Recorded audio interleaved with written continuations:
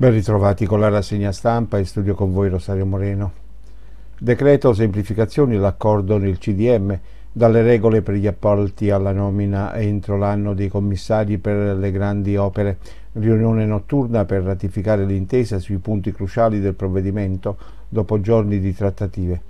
Confermato lo stop alle gare per le opere pubbliche inferiori ai, ai 5,3 milioni di euro fino al 31 luglio 2021, ma cambiano le regole e i tempi per le procedure negoziate. I partiti di maggioranza hanno trovato un accordo anche sull'elenco dei cantieri di rilevanza nazionale da sbloccare. Entro l'anno verrà pubblicato un DPCM su proposta del Ministero dei Trasporti e del Tesoro e previo parere delle competenti commissioni parlamentari. Coronavirus, i dati dicono 208 casi in 24 ore, 8 decessi, 10 regioni con 0 nuovi positivi, tamponi ancora in calo. Secondo i numeri diffusi dal Ministero della Salute, il trend epidemiologico resta stabile 15.000 tamponi in meno nella giornata di domenica, ma il balzo più significativo si registra nel numero delle persone guarite, 133 in più da ieri, per un totale di 192.241.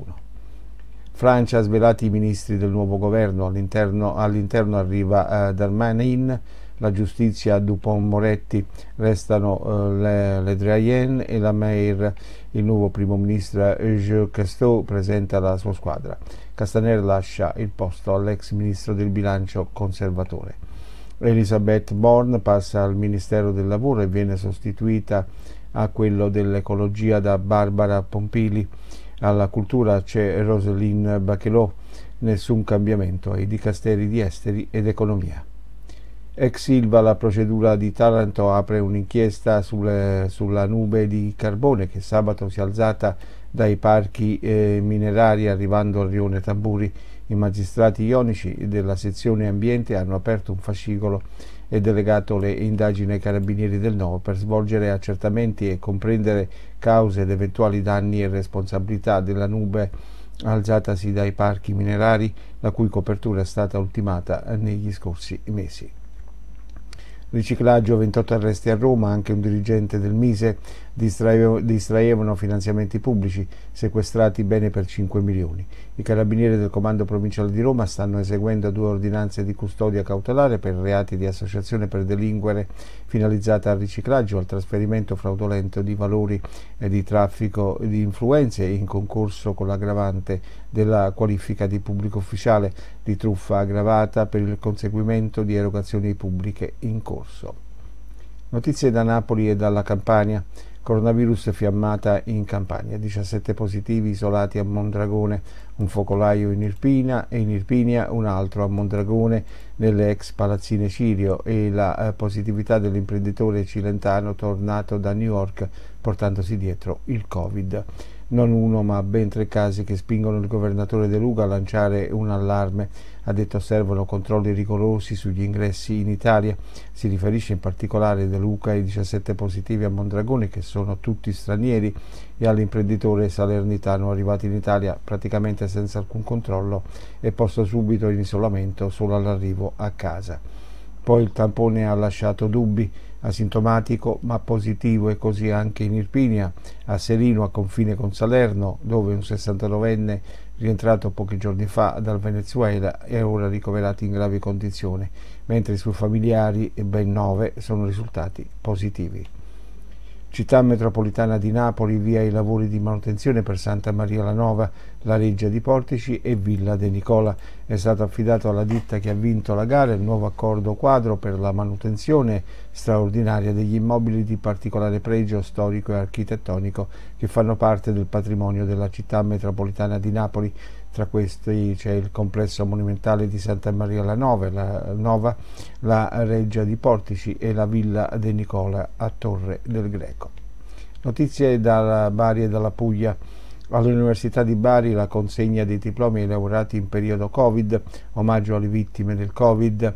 All'evento hanno partecipato oltre al rettore Stefano Brunzini anche il presidente della regione Puglia Michele Emiliano e il sindaco di Bari Antonio De Garo previsto anche un omaggio musicale a Morricone. Bollettino coronavirus Puglia 6, eh, eh, coronavirus della Puglia, nessun caso, eh, nessun caso e zero decessi e quanto afferma il bollettino regionale per il 6 luglio 2020 complessivamente sono stati effettuati 727 test senza rilevare alcuna positività. Bari sequestrato deposito abusivo di prodotti ittici, i controlli della Guardia Costiera assieme a veterinari e tecnici dell'ASL di Bari hanno portato alla chiusura di un deposito di circa 200 metri quadri composto da zona di lavorazione due celle frigo e relative attrezzature utilizzate per lo stoccaggio e la trasformazione dei prodotti. Notizie da Treviso e dal Veneto. Si sveglia e riconosce i genitori. L'amico di Vittoria non sa ancora che lei è morta. Lo schianto di Farra, appunto.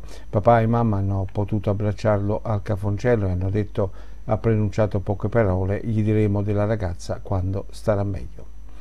Maser e due fratelli toccano i fili dell'alta tensione e restano ustionati. Protagonisti due fratelli in bianchini di Riese Pio X stavano lavorando sulle pareti esterne di un'azienda di via Mattei. Omicidio Vai, la difesa chiederà la perizia psichiatrica, i legali di Patrizia Armellini e Angelica Carmaci puntano sull'esame che stabilisca la piena capacità di agire. Le due sono accusate di omicidio volontario premeditato con l'aggravante della minorata difesa, della convivenza e di aver agito di notte.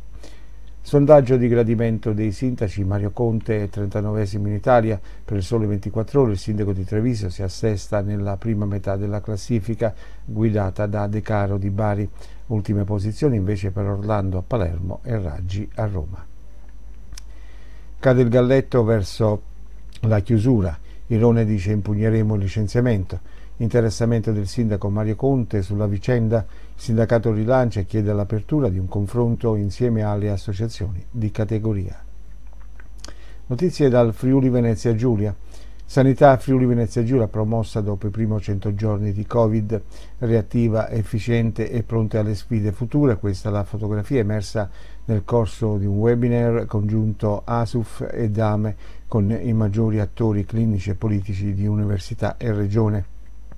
Una sanità, quella friulana, che ha saputo reagire con prontezza all'emergenza e che all'alba dei primi 100 giorni dalla pandemia si ritrova potenziata e ancora più consapevole, sicuramente certa dell'importanza di riuscire a fare fronte comune innanzi a sfide globali, lavorando insieme e integrando abilità e conoscenza.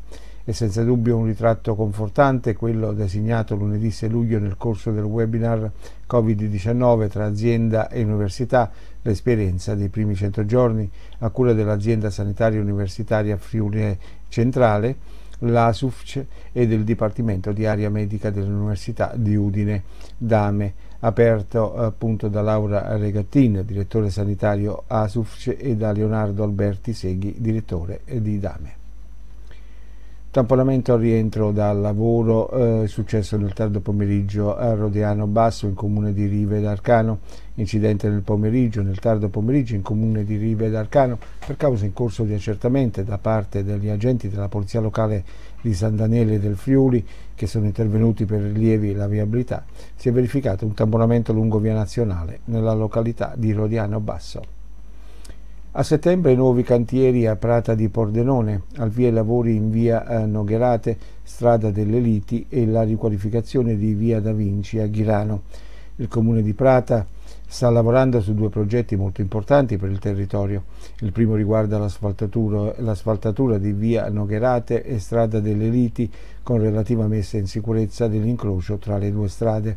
Attualmente il manto delle due si presenta deteriorato da tempo e quindi era indispensabile intervenire.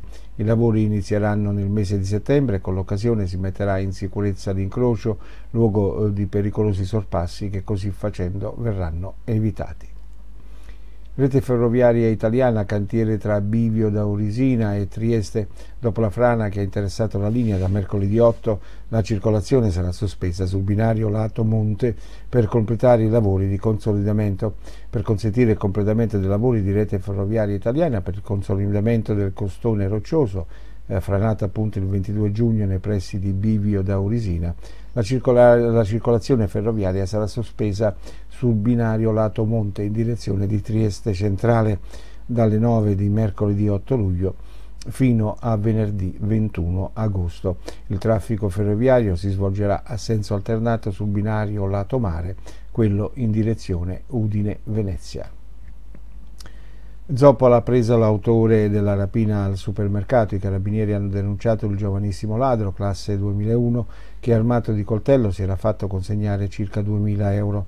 I carabinieri del nucleo operativo radiomobile della compagnia di Pordenone hanno preso l'autore della rapina compiuta venerdì scorso, poco prima dell'orario di chiusura, nel supermercato Conad di Zoppola.